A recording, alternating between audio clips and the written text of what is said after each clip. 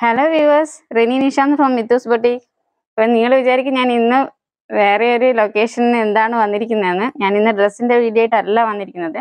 ഞാൻ കഴിഞ്ഞൊരു വീഡിയോയിൽ പറഞ്ഞിട്ടുണ്ടായിരുന്നു. ഞാനൊരു കുഞ്ഞു വീട് വെച്ചിട്ടുണ്ട്. അപ്പം അതിന്റെ ഡീറ്റെയിൽസ് ആ വീട് നിങ്ങളൊന്ന് കാണിച്ചു തരാൻ ചിലരൊക്കെ ചോദിച്ചിട്ടുണ്ടായിരുന്നു വീടിന്റെ ഡീറ്റെയിൽസ് ഒന്നും ഇല്ലേ എന്നൊക്കെ. അപ്പോൾ ജസ്റ്റ് നമ്മുടെ ആ ഒരു ഹാപ്പിനെസ് നിങ്ങളായിട്ടൊന്ന് ഷെയർ ചെയ്യാമെന്ന് വിചാരിച്ചിട്ട് ആ വീടൊക്കെ ഒന്ന് ജസ്റ്റ് നമുക്കൊന്ന് ഓടിച്ചിട്ട് കാണാം.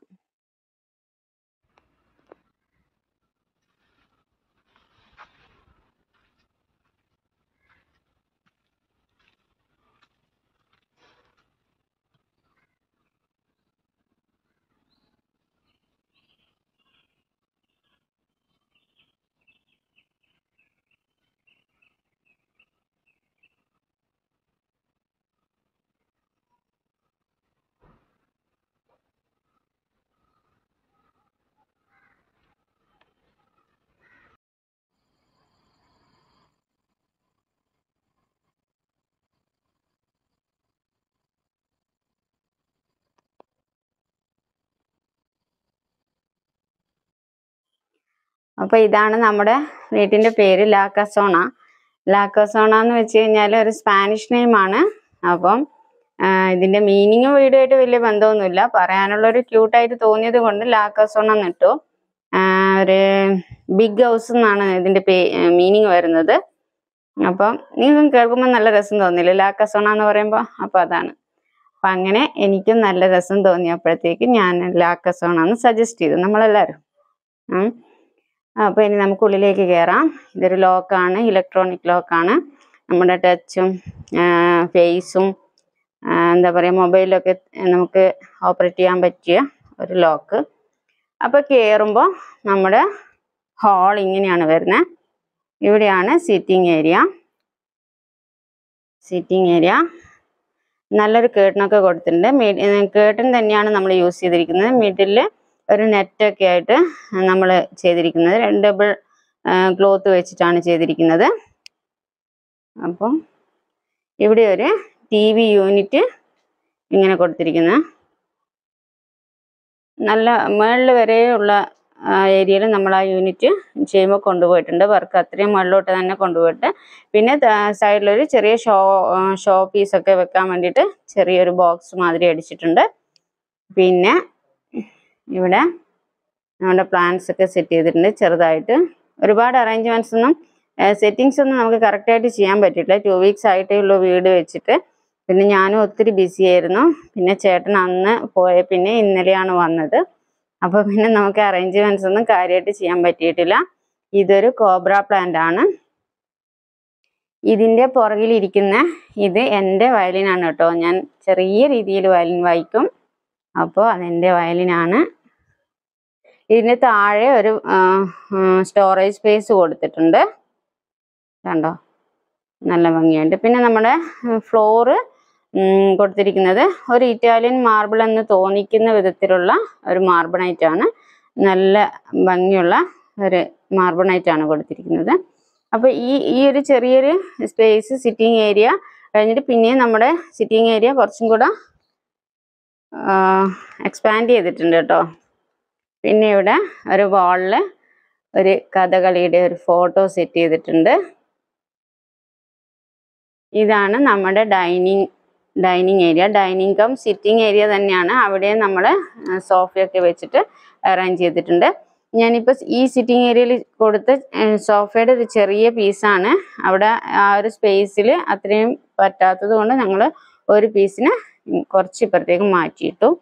ഇത് നമ്മുടെ കിച്ചണാണ് കിച്ചണിലോട്ടൊക്കെ നമുക്ക് പോവാം. അതിനു മുമ്പ് നമ്മളെ ഡൈനിങ് ഏരിയയിൽ തന്നെ ഒന്നും കൂടെ കാണിച്ചു തരാം. ഇതാണ് ഡൈനിങ് ഏരിയ അവിടെ ഒരു എന്താ പറയുക ചൈന ഡോൾ പ്ലാന്റ് സെറ്റ് ചെയ്തിട്ടുണ്ട്. കണ്ടോ കേട്ടനൊക്കെ താഴത്തെ ഫ്ലോറിലെ കേട്ടനൊക്കെ എല്ലാം സെയിം ആണ് കൊടുത്തിരിക്കുന്നത്. പിന്നെ ഇവിടെ ഒരു സോഫ അറേഞ്ച് ചെയ്തിട്ടുണ്ട്. പിന്നെ നമ്മുടെ ഡൈനിങ് ഏരിയയുടെ വാഷ് ഏരിയ വരുന്നത് ഇവിടെയാണ്. ഇതാണ് വാഷ് ഏരിയ വരുന്നത്. വാഷ് ഏരിയ ഒരു വാഷ് ബേസിൻ യൂണിറ്റ് ആണ് കൊടുത്തിരിക്കുന്നത്. താഴെ നമുക്കൊരു ചെറിയ സ്റ്റോറേജ് സ്പേസ് ഒക്കെ ഉണ്ട്. എല്ലാം നല്ല ഒരു മിററുണ്ട് അങ്ങനെ എല്ലാം സെറ്റ് ചെയ്ത് വെച്ചിട്ടുണ്ട്. പിന്നെ അതിന്റെ തൊട്ടപ്പുറത്താണ് സ്റ്റെയർ കേസ് വരുന്നത്. സ്റ്റെയർ കേസിന്റെ ഡീറ്റെയിൽസിലൊക്കെ ഇത് പോകുന്നതിന് മുന്നേ നമുക്ക് ഈ ബെഡ്റൂം താഴെ രണ്ട് ബെഡ്റൂമാണ് ബെഡ്റൂം കാണിച്ചു തരാം. ഇതാണ് ബെഡ്റൂം ഇതൊരു അലമാരയാണ് കേട്ടോ. പിന്നെ ഇവിടെ ഒരു ബാത്റൂം ഉണ്ട്. ഇതൊരു കുഞ്ഞു ബാത്റൂമാണ് കേട്ടോ. ഇത് നമ്മൾ എങ്ങനെയാണെന്ന് വെച്ച് കഴിഞ്ഞാൽ എന്താ പറയുക സ്റ്റെയർ കേസിന്റെ അടിയിൽ സ്റ്റെയർ കേസിന്റെ സ്റ്റെപ്പ് കയറിയിട്ട് അടിയിൽ വരുന്ന ഭാഗത്തിന് നമ്മളൊരു ബാത്റൂമായിട്ട് കൺവേർട്ട് ചെയ്തതാണ്. അപ്പം ഇനി നമുക്ക് അടുത്ത ബെഡ്റൂം കണ്ടിട്ട് കിച്ചണിലോട്ട് പോവാം. ഇതാണ് മറ്റൊരു ബെഡ്റൂം ഇവിടെ ഒരു ഡ്രസ്സിങ് ടേബിളുണ്ട് ചെറിയൊരു ഡ്രസ്സിങ് ടേബിളുണ്ട് പിന്നെ കേട്ടൻ ഞാൻ പറഞ്ഞിട്ടില്ലേ? സെയിം ആണ് കൊടുത്തിരിക്കുന്നത്. പിന്നെ ഇവിടെ ഒരു ഇവിടെ ബാത്റൂം ഉണ്ട്. ബാത്റൂം കാണിച്ചു തരാം. ബാത്റൂമിന്റെ ടൈലൊക്കെ നല്ല ഭംഗിയായിട്ടാണ് പീസായിട്ട് ഇപ്പോഴത്തെ ട്രെൻഡായിട്ട് തന്നെ കൊടുത്തിരിക്കുന്നുണ്ട്. അപ്പം പീസായിട്ട് നല്ല കുറച്ച് വലുപ്പമുള്ള ബാത്റൂമാണ്. ഉണ്ടോ ബാത്റൂമിന്റെ ടൈലൊക്കെ നല്ല ഭംഗിയായിട്ട് കൊടുത്തിരിക്കുന്നു. അപ്പോൾ ഇനി നമുക്ക് കിച്ചണിലോട്ട് പോവാം. കിച്ചണിലോട്ട് പോയിട്ട് നമുക്ക് കിച്ചൺ ഓപ്പൺ കിച്ചൺ ആണ് കേട്ടോ വരുന്നത്. കുറേ ലൈറ്റ്സ് ഒക്കെ അറേഞ്ച് ചെയ്തിട്ടുണ്ട്. ഇവിടെ ഒരു പ്ലാന്റ്സ് ഒക്കെ കൊടുത്തിട്ടുണ്ട്. നമ്മുടെ പാർട്ടീഷൻ വോളാണിത് കിച്ചന്റെ അതിന്റെ മുകളിൽ എന്താ പറയുക പ്ലാന്റ്സ് ഒക്കെ സെറ്റ് ചെയ്തിട്ടുണ്ട്. ഇതിന്റെ ലൈറ്റ്സ് ഓണാക്കിയിട്ടൊന്ന് കാണിച്ചു തരാം. ഞാൻ ഓണാക്കാൻ വിട്ടുപോയി. ആ ഓക്കെ ഇതാണ് ലൈറ്റ്സ് ഈ വീടാണെങ്കിൽ ഇപ്പോൾ കംപ്ലീറ്റ് ലൈറ്റ് കൊണ്ടാണ് കേട്ടോ അറേഞ്ച് ചെയ്തിരിക്കുന്നത്. ഇത് ഇവിടെയും നമ്മളൊരു ഷോപ്പീസ് ഒക്കെ വെക്കാൻ വേണ്ടിയിട്ട് മൾട്ടിവുഡിൽ കൊടുത്തിരിക്കുന്നത് ഇത് ഒരു സ്ക്വയർ ടൈപ്പാണ് ഇതിന്റെ പാർട്ടീഷൻ വാളിന്റെ ആ ഒരു ഏരിയ കൊടുത്തിരിക്കുന്നത്. മൾട്ടിവുഡിൽ കൊടുത്തതാണിത്. കണ്ടോ? അപ്പോൾ അതിന്റെ ഒരു സൈഡിൽ നമ്മൾ കുറച്ച് ഷോന് വേണ്ടിയിട്ട് കുറച്ച് പാർട്ടീഷനായിട്ട് ഭംഗിയിൽ ചെയ്ത് വെച്ചിട്ടുണ്ട്. കണ്ടോ? താഴത്തെ ഭാഗം. താഴെ വെറുതെ ഒരു ടേബിൾ പോലെ ഇങ്ങനെ കൊടുത്തിരിക്കുവാണ്. പിന്നെ ഇവിടെയാണ് ഫ്രിഡ്ജ്. ഫ്രിഡ്ജ് ഇവിടെയാണ് കൊടുത്തിരിക്കുന്നത്. പിന്നെ നമ്മുടെ കിച്ചന്റെ കബേർഡ് പിന്നെ വരുന്നത് ഇങ്ങനെയാണ്. രണ്ട് മുകളിലത്തെ ഭാഗവും താഴത്തെ ഭാഗവും രണ്ട് കളറിലാണ് കൊടുത്തിരിക്കുന്നത്. മുകളിലത്തെ കബേർഡ് ഒരു പിങ്ക് കളറാണ് പിങ്ക് നമ്മുടെ മിത്തോസ് ബൊട്ടീക്കിന്റെ പേരൊക്കെ കാണിക്കുന്നത് അതേ പിങ്ക് കളറിലാണ് കൊടുത്തിരിക്കുന്നത്. താഴെ ഒരു കോഫി ബ്രൗൺ എന്ന് പറയാൻ പറ്റില്ല. അങ്ങനത്തെ ഒരു കളറിലാണ് താഴത്തെ കബേർഡ് കൊടുത്തിരിക്കുന്നത്. കണ്ടോ? പിന്നെ ഇവിടെ നമ്മൾ ഇതാ ഇതൊക്കെ കണ്ടോ? ഞാൻ പറഞ്ഞില്ലേ ക്ലോക്ക് ഒന്നും ഇതുവരെ അറേഞ്ച് ചെയ്ത് വെച്ചിട്ടില്ല. അവിടെ തന്നെ വെച്ചെടുത്ത് അങ്ങനെ തന്നെ വെച്ചിരിക്കുകയാണ്. ഞാനും ഒത്തിരി ബിസി പോയി പറഞ്ഞിട്ടുണ്ട്. പിന്നെ ഇത് നമ്മുടെ ഓവനാണ് ഇത് മോന് സാൻഡ്വിച്ച് ഭയങ്കര ഇഷ്ടമാണ് അപ്പോൾ സാൻഡ്വിച്ച് മേക്കറാണിത് അപ്പോൾ സാൻഡ്വിച്ച് എന്ന് വെച്ച് കഴിഞ്ഞാൽ അവന് ഭയങ്കര ഇഷ്ടമാണ്. പിന്നെ ഗ്യാസ് ഇവിടെയാണ്. വെച്ചിരിക്കുന്നത്. പിന്നെ ഇതെന്താ? ഇത് ഒരു റൈസ് കുക്കറാണ് പിന്നെ ഇത് എയർ ഫ്രയർ ആണ്. പിന്നെ ഇവിടെ ഒരു ജനൽ കൊടുത്തിട്ടുണ്ട്. പിന്നെ ഇവിടെ ഒരു സിങ്ക് ഇവിടെയും നമ്മളൊരു സിങ്ക് കൊടുത്തിട്ടുണ്ട്. പിന്നെ ഇതൊരു ജ്യൂസറാണ് ഇതാണ് നമ്മുടെ ആ എന്റെ അലക്സയെ കാണിച്ചു തരാം. അലക്സ ദേ ഇവിടെ ഇരിക്കുന്നു. എനിക്ക് എപ്പോഴും കിച്ചണിലൊക്കെ ഇരിക്കുവാണെങ്കിൽ എപ്പോഴും അലക്സയിൽ അങ്ങനെ പാട്ടൊക്കെ കേട്ടുകൊണ്ടേ ഇരിക്കണം. അങ്ങനെ അലക്സയൊക്കെ എവിടെയാണ് സെറ്റ് ചെയ്തിരിക്കുന്നത്. അപ്പോൾ ഇനി നമുക്ക് വർക്ക് ഏരിയയിലോട്ട് പോവാം. വർക്ക് ഏരിയയിൽ വർക്കൊന്നും ഉണ്ടാവാറില്ല. അടുപ്പൊന്നുമില്ല കേട്ടോ. നമ്മുടെ മുമ്പത്തെ വീട്ടിലാണെങ്കിലും അടുപ്പൊന്നുമില്ല. ഇത് ഒരു ഇൻഡക്ഷൻ കുക്ക് ടോപ്പാണ് പിന്നെ മിക്സി ചോപ്പർ അങ്ങനെ പോകുന്നു. ഇവിടെയും സിങ്ക് കൊടുത്തിട്ടുണ്ട്.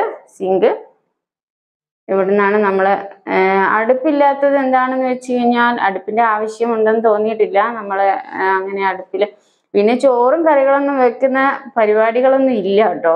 എന്തെങ്കിലും സാൻഡ്വിച്ച് ചപ്പാത്തി മോൻ ചോറൊന്നും കഴിക്കില്ല.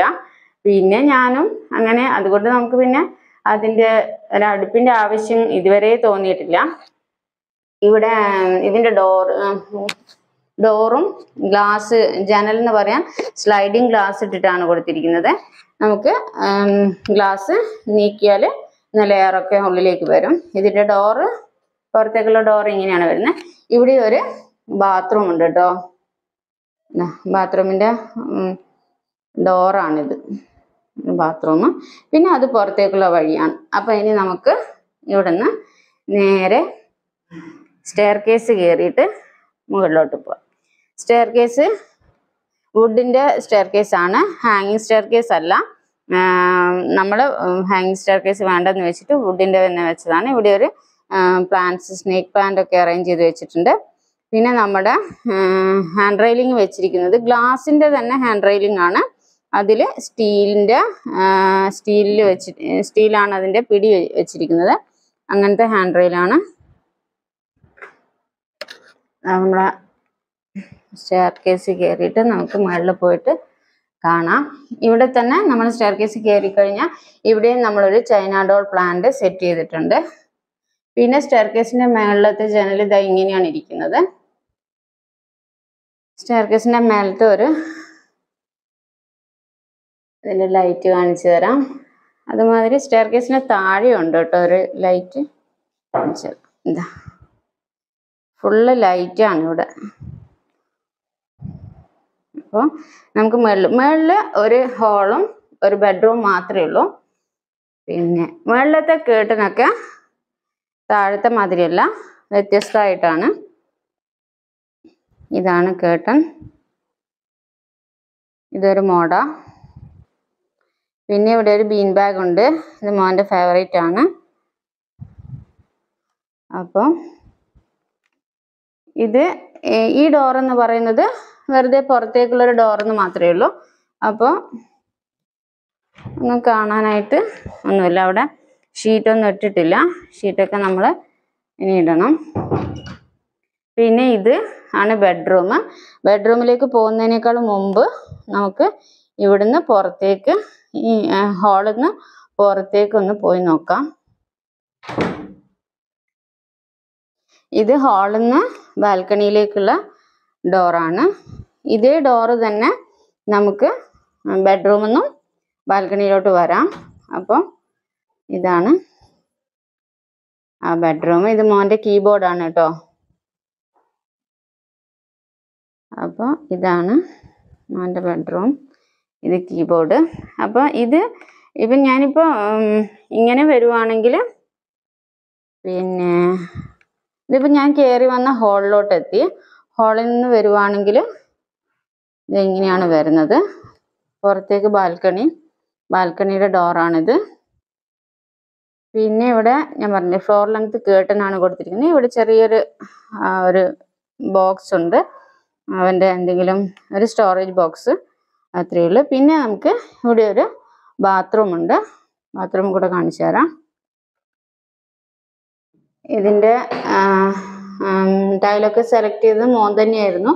അപ്പോൾ അവന്റെ തന്നെ സെലക്ഷനാണ് ഫ്ലോറൊക്കെ നല്ല ടൈലാണ് നല്ല ഭംഗിയുള്ള ഒരു സ്റ്റാൻഡേർഡ് ആയിട്ടുള്ള ഒരു ടൈലാണ് അത് തന്നെ നമ്മൾ നല്ല നല്ല ഭംഗിയിൽ കട്ട് കട്ട് ചെയ്ത പീസായിട്ടും പിന്നെ ഡയമണ്ട് പീസായിട്ടും സൈഡിൽ കൊടുത്തിട്ടുണ്ട്. ഒരു സൈഡ് ഡയമണ്ട് ഡയമണ്ടിന്റെ ഷേപ്പിലാണ് കട്ട് ചെയ്തിരിക്കുന്നത്. നല്ല ഭംഗിയുള്ള പീസാണ് അപ്പം ഇവിടെ നിന്ന് നമുക്ക് ബാൽക്കണി. ഇതാണ് ബാൽക്കണി. ബാൽക്കണിയിലെ ടൈൽ. ഇത് രണ്ട് ഭാഗമായിട്ട് ഇങ്ങനെ കൊടുത്തിരിക്കുന്നു. പിന്നെ ഇവിടെ ഇവിടെ നിന്ന് നമുക്ക് പുറത്തേക്ക് കാണാൻ പറ്റും. അപ്പോൾ ഈ വീട് നിങ്ങൾക്ക് ഇഷ്ടമായിട്ടുണ്ടെങ്കിൽ കമന്റ് ചെയ്യണേ. അപ്പോൾ നമുക്കിനി നമുക്ക് ഈ വീഡിയോ വൈൻഡപ്പ് ചെയ്യാം കേട്ടോ അപ്പം എന്റെ ഈ കുഞ്ഞു വീട് നിങ്ങൾക്ക് ഇഷ്ടമായിട്ടുണ്ടാകുന്ന കരുതുന്നു. അപ്പോൾ ഇതിന്റെ കുറച്ച് കാര്യങ്ങൾ കൂടെ പറയാനുണ്ട്. ഇത് ആയിരത്തി എണ്ണൂറ് സ്ക്വയർ ഫീറ്റിന്റെ ഒരു വീടാണ്. അപ്പോൾ ഇത് നമുക്ക് പണിത് തന്ന construction company S R construction ആണ്. കോൺട്രാക്ടർ ബിൽഡർ എന്ന് പറയുന്നത് ശ്രീജിത്ത് ആണ് മഞ്ഞോടിയാണ് അവരുടെ ഓഫീസ് അവരാണ് ഇതിന്റെ കംപ്ലീറ്റ് വർക്ക് നമുക്ക് ചെയ്തു തന്നത്. ഒരു സെവൻ മന്ത്സ് മന്ത്സിൽ ഇത് നമുക്ക് കംപ്ലീറ്റ് ചെയ്ത് തന്നിട്ടുണ്ട്. എപ്പോഴും ഫാസ്റ്റ് ആയിട്ടുള്ള ഒരു വർക്കാണ് അവർ നമുക്ക് നമ്മൾ കുറേ വർക്കുകൾ അവർ ചെയ്തു. വളരെ ഫാസ്റ്റ് ആയിട്ട് തന്നെ ചെയ്തു തന്നു.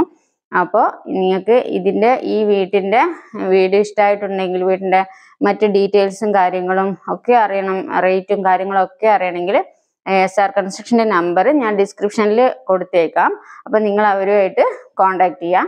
അപ്പോൾ എന്റെ ഈ വീഡിയോ നിങ്ങൾക്ക് ഇഷ്ടമായിട്ടുണ്ടെങ്കിൽ ലൈക്ക് ചെയ്യുക കമന്റ് ചെയ്യുക എല്ലാ അഭിപ്രായങ്ങളും കമന്റിലൂടെ അറിയിക്കുക. പിന്നെ ഞാൻ എന്റെ ചാനലിലൂടെ എന്റെ ഒരു വീട് നിങ്ങളെ കാണിക്കാൻ വേണ്ടി വന്നതേ ഉള്ളൂ അപ്പോൾ അടുത്തതായിട്ട് ഞാൻ നമ്മുടെ പുതിയ ഇരുന്നൂറ്റി തൊണ്ണൂറ്റൊൻപത് രൂപയുടെ നല്ലൊരു കുർത്തി റെഡി ആയിക്കൊണ്ട് വരുന്നുണ്ട്. അതുമായിട്ട് വീണ്ടും വരാം. അതുവരെയും ബായ്